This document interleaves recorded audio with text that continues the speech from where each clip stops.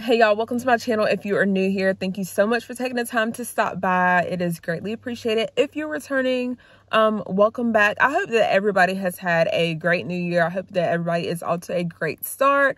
Um today is saturday january the 13th um i wanted to go ahead and get this story out. I'm not going to hold y'all too long. Um this is pretty much an urgent plea um coming from the red cross. So as you guys know we have had multiple shortages of food um everything. Pretty much there's been a shortage at some point or just you know hard to find low in stock. But this is a different kind just because i mean it i mean it can affect all of us. It can affect us at any time and we don't know when.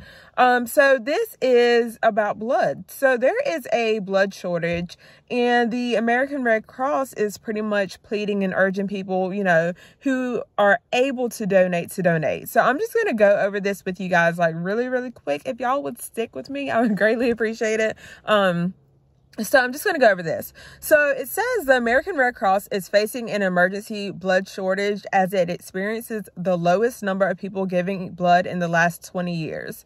Um, it says that blood and platelet donations are needed now to help alleviate with the shortage and ensure life-saving medical procedures proceed without delay. Um, and so obviously there's a lot of medical situations that entail people getting like they need blood they need transfusions there's medical procedures there are surgeries that you know blood is needed. So this i think is pretty important. Out of all the shortages that we are having this is a big deal. There are cancer patients that need blood. So, you know, without those, doctors are having to pick and choose certain patients and situations to use blood just because of the shortage. I'm going to give blood. you guys an example. It says one of the most distressing situations for a doctor is to have a hospital full of patients and an empty refrigerator without any blood products. A person needs life saving blood every two seconds in our country. Over the last 20 years, the number of people donating through the um, American Red Cross has fallen about 40%.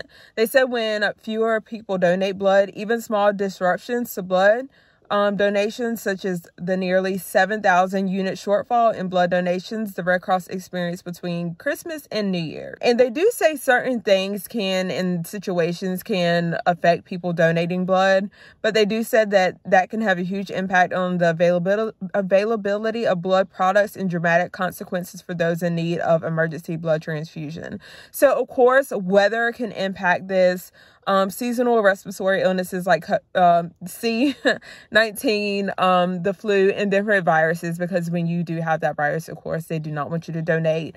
Also, um, depending on the time of year, like of course, summer, a lot of people are traveling.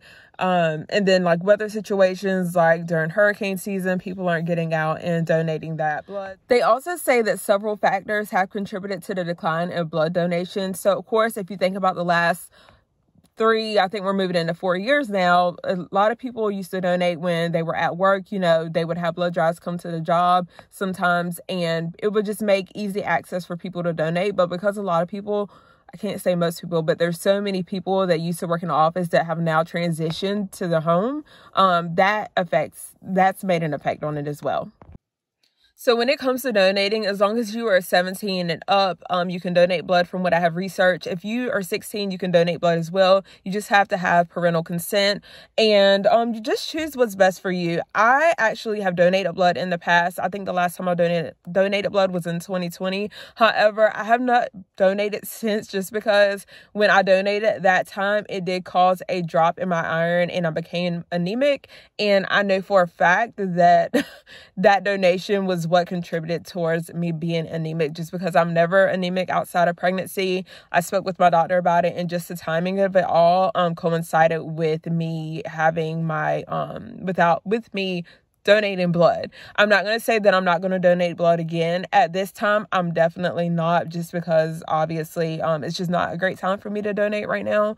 Um, I feel like my body is still trying to recover from having a baby. So I don't need any extra going out right now, unfortunately. But I will give myself probably until like the summertime. Once the summer gets here, I will have made the two year mark. And I think I'm going to go ahead and choose to donate blood just because, again, you never know when your family, your friend, or anybody that you know or just you know a stranger may need that blood from you so i feel like every donation counts so with that being said I will go ahead and leave the link down below for the American Red Cross. So if you want to reach out to the chapter in your local area, you can do so.